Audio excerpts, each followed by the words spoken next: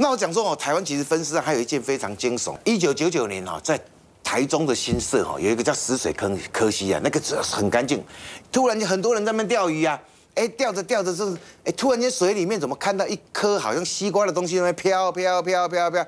再仔细一看，那哪是西瓜？是什么东西？有头发在，长头发在那飘哎。可是你看过没多久之后。哎，那个时候不是有九二一大地震吗？嗯，那个日月潭那个光华岛不是崩塌什么东西？后来他们在重建的过程之中，很多工人就开着船在那边重建，在那干什么？说，哎，竟然从那搞解搞解掉那个日月潭来，那能量浪头嘛，底下普解普解。你之前有一个人头了，你现在居然又有两个人头出现？对啊，那那警方就吓死了，就开始派潜水潜水夫啊，什么东西下去捞啊捞，后来又捞起了十几块尸块啊，在验的时候发现说啊，这两个。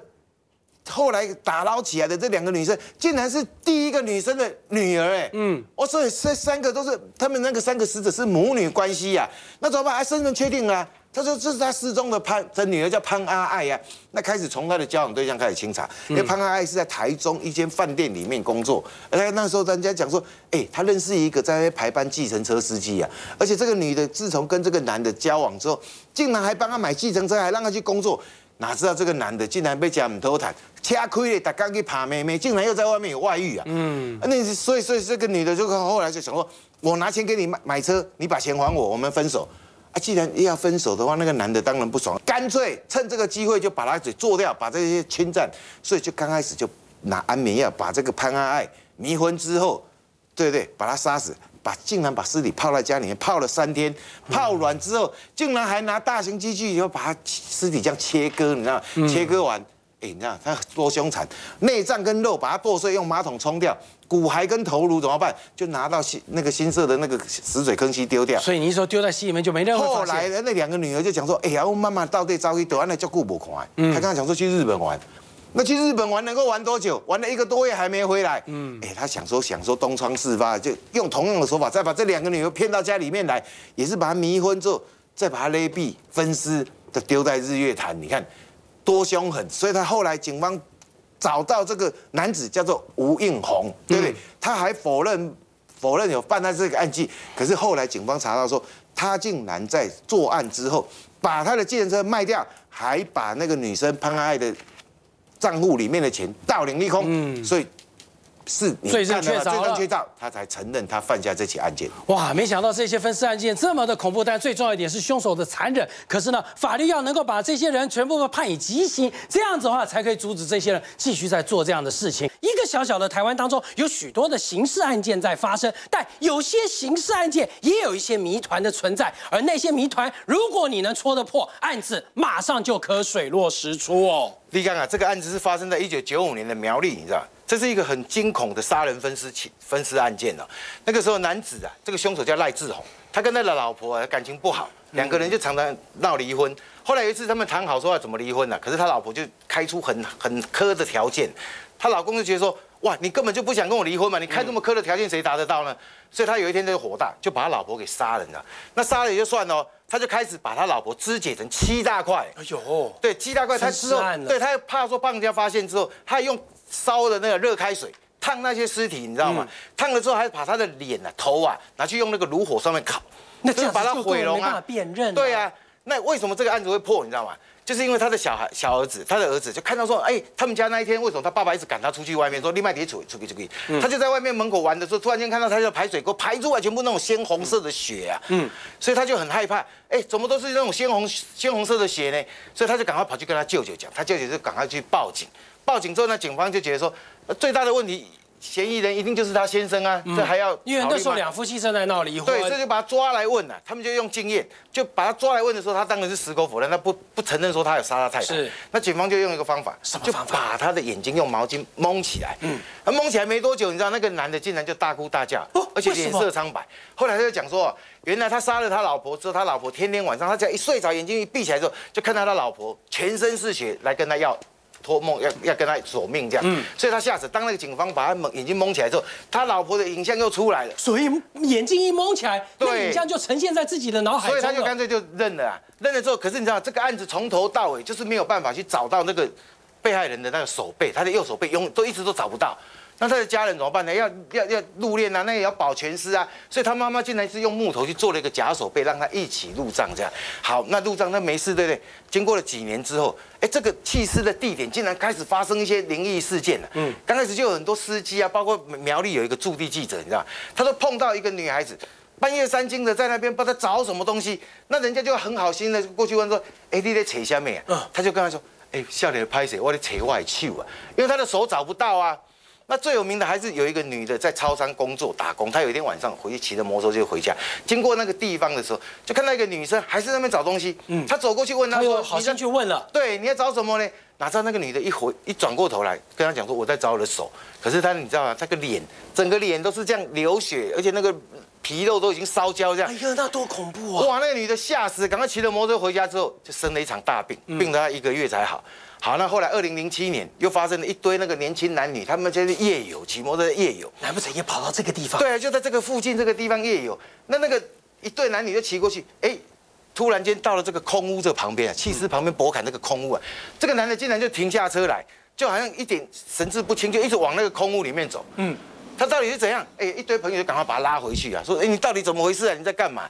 而回到饭店休息之后，隔天早上一大早，哎，那个男的又不见了。他到哪去了？他们赶快去现场找，原来他又在这个地方。怎么会又跑进去了呢？后来人家问他说，他才说，是因为有个女的一直叫着他说，你帮我找我的手背，我的手背找不到，所以他就好像被看起，赶快被那个附身要牵过去一下。所以那个后来人家才知道哦，原来因为那个女的当初不是她妈妈做了一个假手背让她入殓吗？是，就入殓之后，可是几年之后他们要捡骨的时候发现说，结果呢？哎，那个手背木头做的，已经早就烂掉了。嗯，所以那个手背烂掉不见了，所以那个女的又开始出来找手背。女儿提着一袋尸袋向警方报案，没想到一打开见到的却是妈妈的头颅，而凶手却是自己的爸爸。这样的人伦悲剧也曾发生在苗栗地区。当时一辆垃圾车内发现了一个无头女尸，不仅少了头颅，连双手双腿都不见了。身份是谁呢？检警一时查不出来。正当案情陷入焦灼时，刑事组长无意间讲了出一个“苦”字。有人测试说二十天内会破案，而就这么巧的二十天破案。而这起分尸案的背后是一个悲惨的亲情故事。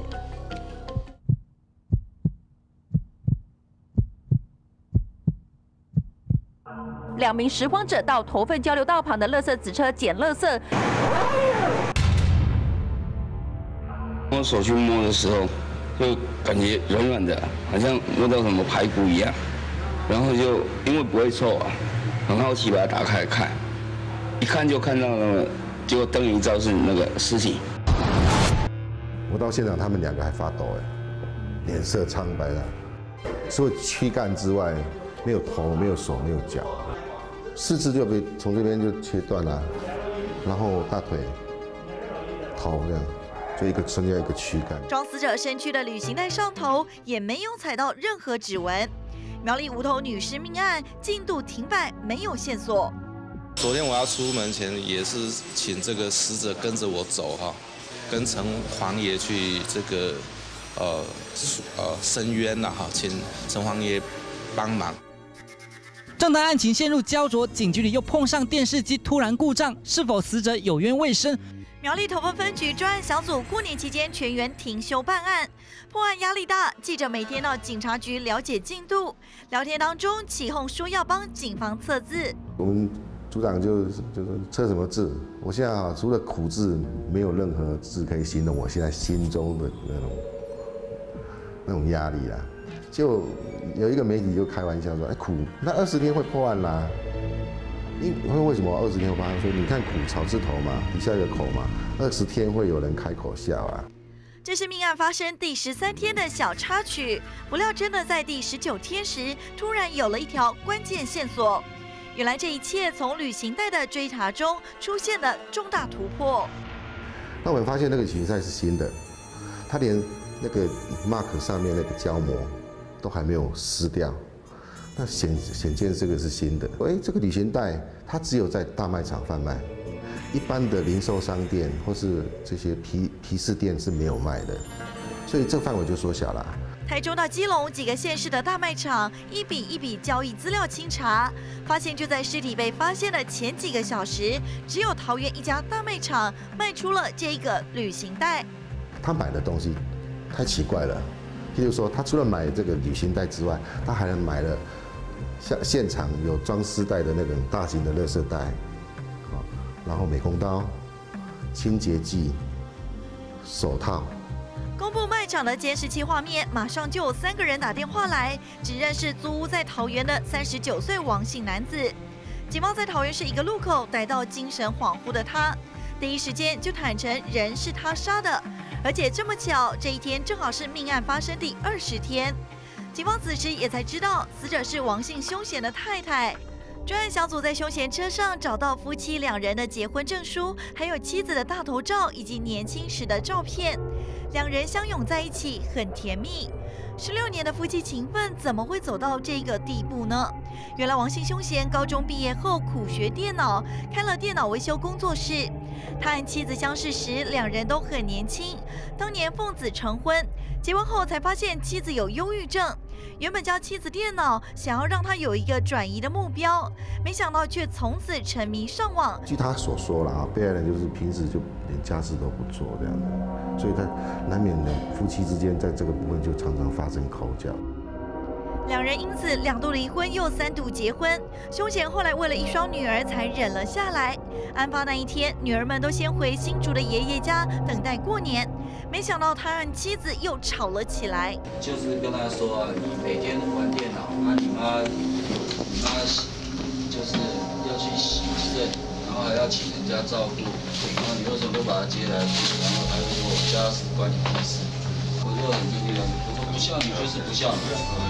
这样子砍下来，我就这样接着，然后这样子，这样子，然后一把刀，然后刺刺刺一把刀这样子这样子刺下来。是手刀夺走，然后，然后就这样用力推推他，然后这样子，我刺了两刀还是三刀，我忘记。了。他就从下午两点多一直陪伴十几十几个小时哦，然后一直思索说接下来怎么办。后来可能是考量到两个孩子还小，需要人家需要他照顾哦。从脚开始刺剑，是，然后再因为脚是靠近外面嘛，所以说就先从外面。手嘛，双手、双脚、头嘛、身体嘛，六块，分成六大袋。就放在这上面，放在这个这样子啊，这这这种情况下，然后那是那个时候是很满这样。随后骗两个女儿妈妈去照顾生病的外婆，接着搬回新竹父亲家居住，每天照常接送女儿上下课，直到被警方逮捕。对于杀害妻子悔恨不已。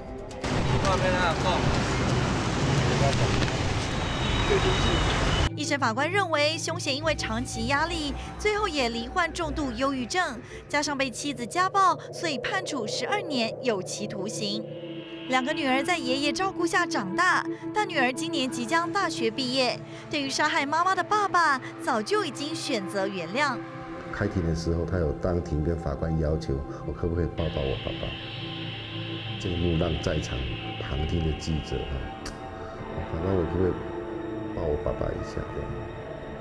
我那个时候，我那个只要有点恻隐之心的，看到那一幕就真的就是啊，这孩子，这个父亲确实在孩子的心目中不是个，而且是个非常非常好的爸爸。这样，从他他们的教育陪伴他们成长哦，他他都是在旁边的。这是一出家庭悲剧，女儿只想淡忘一切，等爸爸出狱后，一家人重新开始。这几年最令人震惊的一案是发生在新竹县新浦山区，一个媳妇拿刀杀了公公，伤痕长达二十公分，连脏器都外露。而当天，二十四岁的凶嫌本来是要跟死者的儿子到户政事务所去登记结婚，大喜之日怎么会杀了人？警方一步步往下追，才发现幕后的惊人秘密。而到最后，甚至连检察官都替凶手求情。这起命案到底隐藏了什么样悲惨的故事？浑身是血的伤患被送进救护车内，救护人员卖力的实施 CPR，但他心口的伤实在太深了，早就因为失血过多没了意识。心脏这个部位很明显的一个刀伤，整整个都裂开来，这样子，脏器都看得到。直接跟我们讲说，哦，就是媳妇杀公公。伤者送医前就宣告死亡，什么深仇大恨？这媳妇要把公公一刀毙命，杀了人之后，他人又跑去哪？死者的儿子口述了哈，他是说看到有血渗出来，发觉有点不对劲，而且他也听到一声啊，听到爸爸在房间里惨叫一声，在客厅的儿子敲了房门，没人回。奇怪的是，门居然被锁住了。就在家人想不透的时候，门缝渗出浓浓的鲜血。家不能狗家来上位会害人，公就哀凉上等一下。就怕出了人命，死者蔡姓男子的儿子赶紧跑向住在楼上的沈婆求救。人命关天，沈婆连鞋子都来不及穿，冲下去救人。他也是可能某年对下等来的，加心跳，地不错，一分钟就。地上都是一些血迹啊。哦，靠近门的那地方是血迹。远警到房间查看之后，看到凶嫌就是那个，就已经在一个角落，角落那边畏缩在那边，啊，两眼呆滞。坐在房间角落的是二十四岁的真姓女子，倒在前面的是她五十二岁的公公，胸口这一刀，连内脏都可以直接看到。杀了人，他就这样直愣愣地坐在一旁十多分钟，看着公公血流干，直到救护人员破窗进入。怎么这么狠心这样杀公公？但我们第一个直觉是这样子啦。新竹县新浦镇宁静的山区，四周都是水梨果园，原本人烟就稀少，根本没什么案件。没想到这回却发生如此骇人的凶杀案。除了痛恨之外，他就不会下这么重的毒手了。是什么样的恨得杀人才能了结？可是当警方回到现场，邻居的说法让人摸不着头绪。没有，感情都很好了。奇怪，哎，也都没有发生过争执。没有，没有，早上也没有。嗯，通通很高兴呢。邻居说，死者和媳妇他们一家人这天早上还准备去户政事务所帮凶嫌和儿子登记结婚，大家都高高兴兴的。那到底是为了什么？是我发的口角，一时情绪太激动吗？远警把曾姓女子和她的老公，也就是死者的儿子带回派出所，打算好好问个清楚。看起来就不大像夫妻。来我们派出所的时候就很平常，话也不多啊。这两人是像即将登记结婚的人吗？就当警方察觉这对夫妻怪怪的时候，曾姓女子突然全身瘫软。然后后来她还说身体不适。身体不适的时时候，我我们又把他送医院。他的家人是跟我们讲说，他有喝那个保温瓶啊，那个叫做一个农药，叫做万灵粉。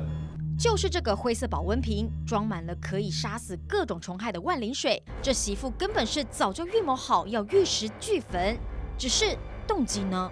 我们就问他说：“你为什么杀你公公？”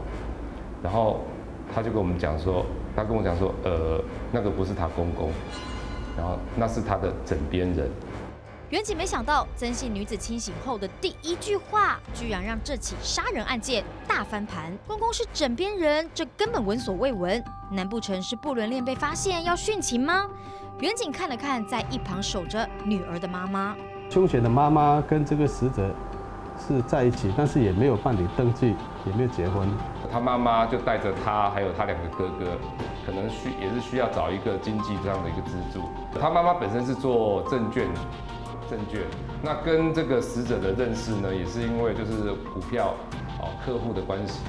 原来十年前妈妈离了婚，和当时还是客户的蔡姓死者在一起，就带着女儿和两个儿子到新浦镇这个农村家庭，和对方住在同个屋檐下，以种植水梨为生。但就在曾姓女子十五岁，国中二年级那一年，整个情况就不对了。她跟她的继父发生了关系。然后这个关系呢，呃，每隔两三天就就一次。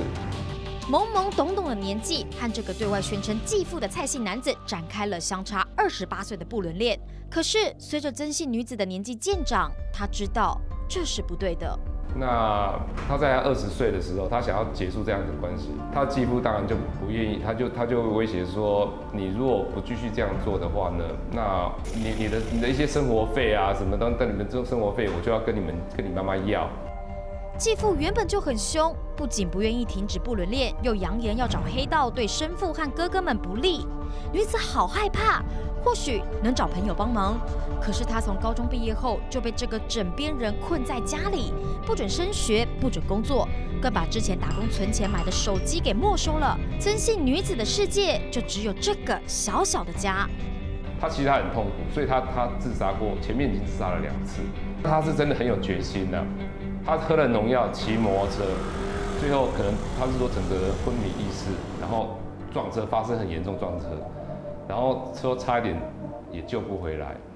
好几次想寻死都不成。这个时候，他发现月经迟了好几个月，一验才知道自己已经怀上了继父的孩子。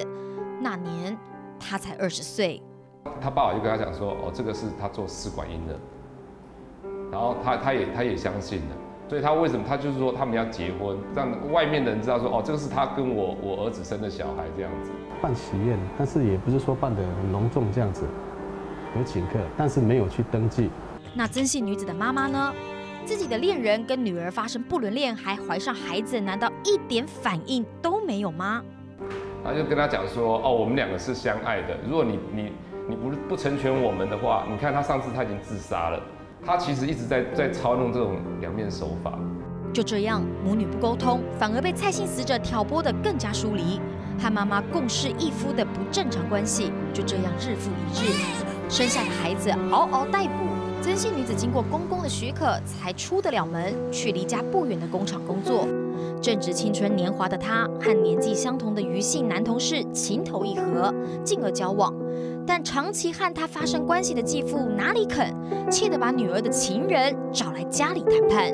曾姓女子有跟我们说，她有有交往过一个月，然后这个事情被死者发现，约到家里面，就他们就在那边发生了肢体冲突，逼他签本票，好，签了三张的一个借据，每一张可能哦两百万这样的，大概钱加起来可能有六百万。签了本票，还逼曾姓女子写下悔过书。但蔡姓男子看看眼前这个人，已经不是当年那个年纪懵懂、很好吓唬的小女孩了。这个蔡姓死者呢，发现曾姓女子在外头交了男朋友，他想了一个绑住对方一辈子的计划。他事发当天呢，就带着自己的儿子和女方到户政事务所登记结婚。有了法律保证，谁敢来和我的媳妇交往，就准备吃官司。蔡姓男子心里的算盘打得很精。二零一五年六月三号那天风和日丽，农民历上写着这天早上是适合嫁娶的日子。他已经帮枕边人和儿子选好，就是今天去登记。他们都在在一起客厅嘛，这边有说有笑啊，闲话家常，很正常，很正常。但是突然死者就说头晕嘛，原本就就是大家。一一票人就准备说哦，真呃准备要出门了，那就是蔡先生刚好身体不舒服。时机来了，曾姓女子心里闪过一个念头，是该了结这十年来乱七八糟的痛苦关系。又刚好这时候，三岁的儿子突然哭了起来，他叫即将成为他合法的老公和妈妈把小孩抱回房间。他就把他们支开之后，他就到厨房去，啊厨房去把这把把手刀拿拿拿了。他就去拿那个那个万灵伞，他打算同归于尽。他有讲到，他从好好几年前就已经被他，而且不止一次了，就是长期下来一直都是被他欺负了。那他也忍不住了。从十五岁开始，身体就被眼前这个男人蹂躏，十年来生命饱受威胁。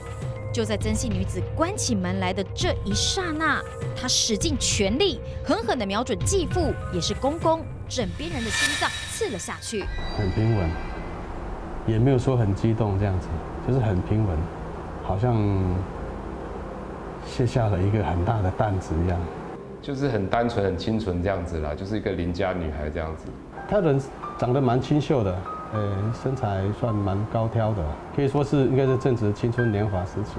警方回想起两年前这个才二十四岁的女孩，都忍不住叹息：花样年华的年纪，应该在学校念书，在职场拼搏，有正常的男女关系才对。这起媳妇杀公公的案件，检察官在起诉书上以没有玻璃鞋的灰姑娘形容杀了人的曾姓女子，向法官求情不要处以死刑或无期徒刑。地院一审以杀人罪轻判两年六个月，全案还未定验。只是曾姓女子的遭遇却比灰姑娘更悲哀。活在残酷现实中的他，根本期待不到童话中的玻璃鞋，身上永远烙着的是蔡姓男子长期造成的恐惧和鲜血淋淋的杀人罪前科。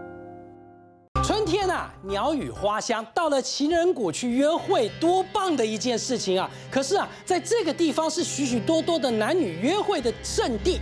但说到这边啊，你有没有注意到，情人谷后来有一天没人敢去了？为什么没有人敢去？因为那个地方发生了两起恐怖的命案，两名女性在那里被杀害，而且她们身上没有任何的衣物，是谁所为呢？那个地方已经变成所有女性听到的一个禁地，大家都感到害怕。但是警方的调查查到最后，突然发现到一件事情，帮凶不止一人哦。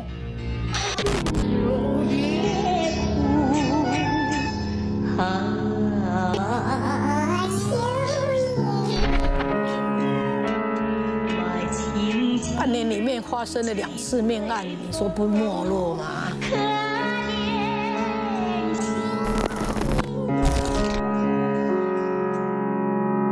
走起路来，哎，要飘要看，是不是旁边有坏人？古色古香情人谷，在两起女裸尸命案后，成了当地最恐怖的死亡谷。经过五十三年的时间，当地文史学家尤宝彩依旧忘不了当年的恐惧。民国五十六年，蒋经国还是国防部长的戒严年代，住在台北县新店直潭的黄姓少女，清秀的十九岁姑娘，文静乖巧，每天的生活就是出门上班，下了班就照顾久病的母亲。但有一天，她没有回家了。那会不会是因为妈妈卧病在床？那平常又要这样翻山越岭，很辛苦，是不是跟朋友去哪边散心一下啦？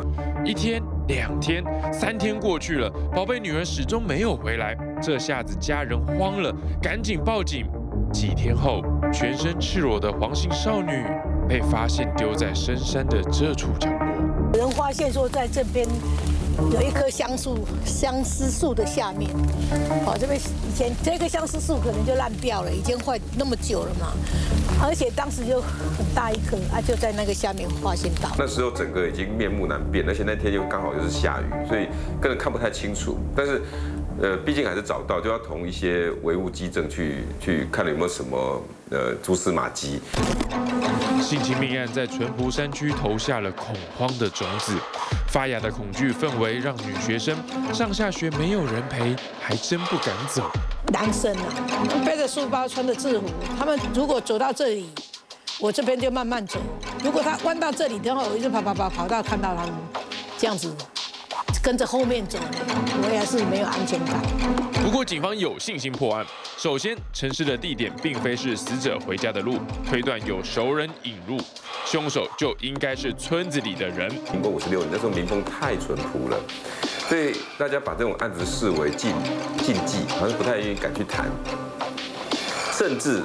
村民都认为说最好不要是我们村里面的人。警察登门拜访，村民三缄其口。原来村子里的人大多都有亲戚关系，没有人希望凶手是自家人。甚至当地的有利人士还建议警方把矛头指向村外人，结果还真的改了方向。从外地人临时犯案来查，据传在民国五十年代，这附近有相当多的特种行业，而警方也在这里问到了一个重要的线索。他们从一名特种行业小姐口中得知，有一名叫黑人的恩客时常来这里消费，而他身材精壮矮小之外，最大的特点是他嘴里镶着三颗金牙。除此之外，每一次他消费完毕，都会送给小姐一个女用钱包，而这些钱包都是用过的，还真的有了可疑的对象。绰号黑人的男子姓刘，三十岁，高雄人，本身就是一名通缉犯，窃盗、抢夺、性情未遂，前科一大串。锁定目标，在女孩遇害后半个月，在新店镇顶层的竹林草堆中逮到了他。结果在这个黑人他的身上也找到了几根的阴毛，然后他身上还随时带了一把刀，因为他逃亡嘛。那个刀呢，看起来又跟杀害黄玉宽的刀痕若合符节，那警方就把他移送法办，然后就认为是破案的。当地村民大举庆祝，不仅抓到了凶手，更因为凶手并非自家人，但这个结果却被检察官重重打脸。连不在场证明也没办法能够吻合，甚至很多的提议啦，甚至是后来的那个毛发，再去做两个单位的辨识，都没有办法完全佐证他就是嫌犯。这么大的瑕疵摆在眼前，五个月后，让村民笑不出来的是，凶手又犯了第二起性侵命案。那如果那个时候新店分局警方大力的宣导说，哎，现在人还没找到，到新店山区的民众还是得小心，就不会有后续的事情发生。遇害的女子是景美女中的学生，参加万人祝寿蒋总统自强活动，结束时她独自返家。半路停下脚步，惬意的看起书来。啊，怎么办？已经暗了，那就问一个人说：“哎，我我要往新店来，怎么走？”他说：“你就从这边走，过了渡船，哦，就可以往新店去。”好心人的指点，女学生顺利上船，但没想到当黑暗笼罩山谷，人却失踪了。家人赶快报案。换来的是四天后，新店第五公墓躺着一具赤裸的灰白尸体。这两起案件手法怎么这么像？同样都是性侵，身上的衣物都被扒光，但是呢，身上的财物却没有被被被拿走。没多久，图潭渡渡船口王姓船工就提供了一条重要线索。在当时，这边有一个渡船口，叫做图潭渡船口，是给这边的村民搭船渡过去的。而当时董明芳就是在这个地方搭上船的。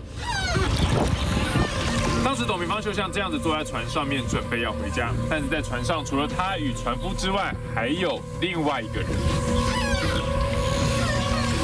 警方循着线索找到了林姓男子，三十一岁的他顶着一头长发。更巧的是，他就是第一位死者黄姓少女的舅父。他一直问这一个用惩罚的，他也用心头就嗲哎，他不会觉得说他有做错事情。打死不承认，加上没有直接证据，但是找到他的老婆，无意间说出了这句话。所以他想说，哎，对呀，那天咱们会会会自己洗衣服啊。洗的就是犯案的血衣，警方又在附近找到了关键证物，把那只刀丢到那一个粪坑里面，结果警方有去搜查，是真的有这个凶刀。林姓男子双膝下跪，坦诚犯下董姓女学生的命案，但他不承认黄姓侄女是他性侵杀害的。最终法官若锤，死刑定验。伏法鸣枪当日，尤宝彩搭车外出时，恰巧撞见了这一幕。用一个巾包着，他就抱着，啊，旁边有一个人，就我们村庄人大部分都是会有认识嘛。那，哎，迄个就是迄个今仔日要庆杀啊，莫一个翁还要休息啊。整起事件可以感受到当年在科学不进步的年代，警方办案的限制与旧习。最重要，大概占了百分之八十以上都是靠访查。那刑警要在办这个案子的时候，每次要去访查，占了他八成这么重要的一个线索，遇到的却是大家那种他卖啦、卖懵啦、卖我唔知啦这样子的。情绪哦，所以实在真的很难去突破紧密互动的人情，单纯朴实的民风，加上知识未开的人云亦云，无意助长了凶手侥幸的心理，大胆再犯案。更有传闻，当时大批警力进驻直潭国小气凶，村民绘声绘影，两条人命带有凶煞之气，希望事后可以在学校里盖一尊土地公来镇煞。但学校里面怎么可能立神？于是校方想了一个法子。哎，土地公还是空住？我跟他说正厉害也不是哎，反正他们说他像谁？我说没有啊，就像雕的那一个人。土地公造型的孔子成了全台唯一的独特景象。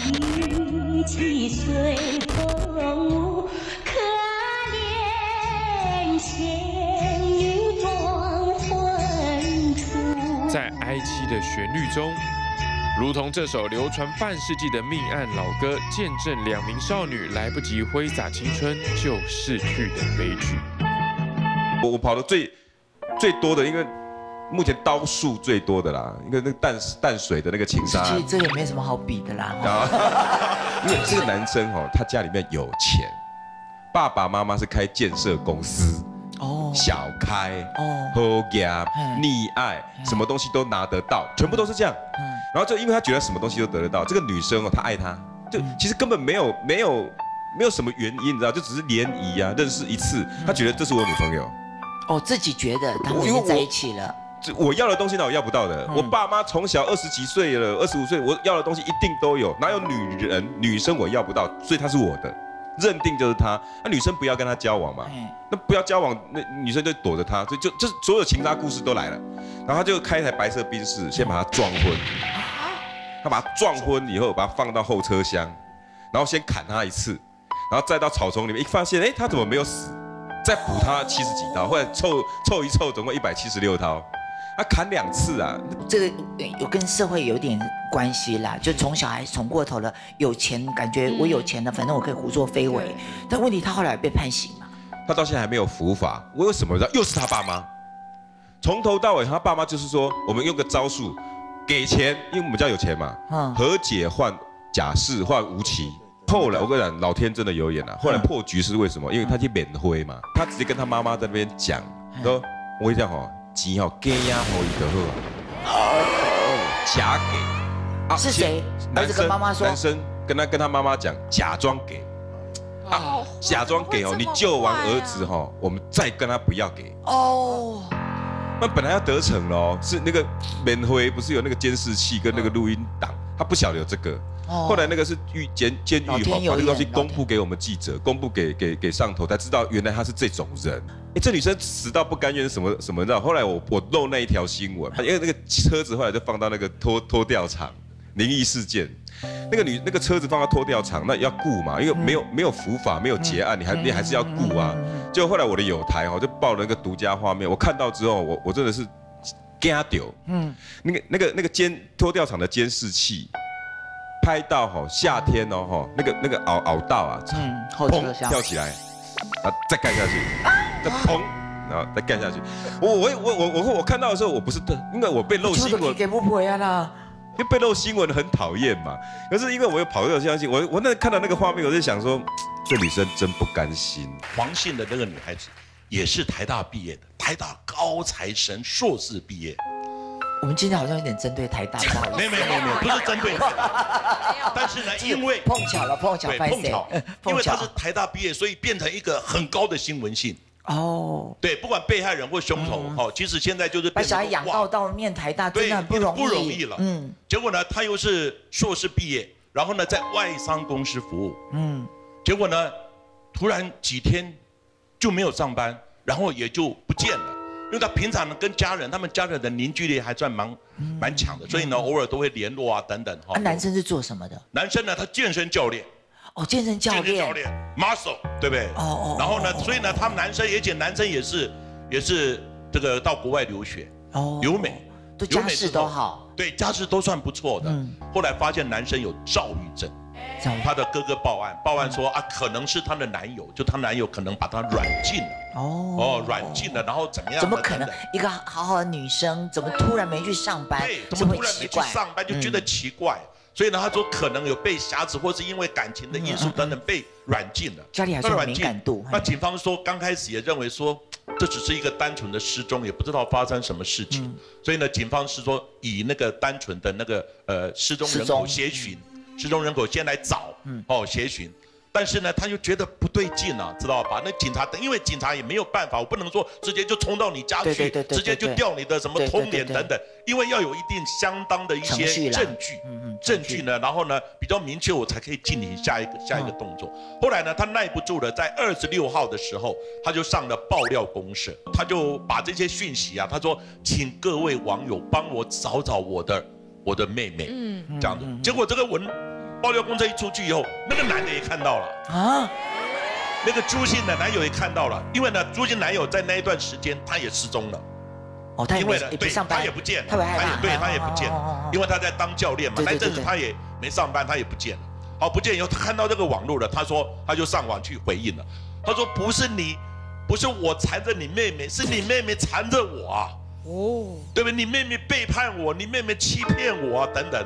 然后他把他们那个哦，就是呃手机联络的那个呢，上面一些讯息，其实这些讯息我在想，是他自己制造上去，因为他把你的杀了以后，手机也在他那里啊拿你的手机我拿到了，我就制造一些我们来往的这些讯息，因为他上去的时候，他回应哦，他回应他说上面的，结果后来有眼尖的网友发发现，你把那个模式设定飞行模式。根本你就接不到任何的讯息。他说你这个有鬼啊！对耶。他说那个飞航模式根本接不到讯息。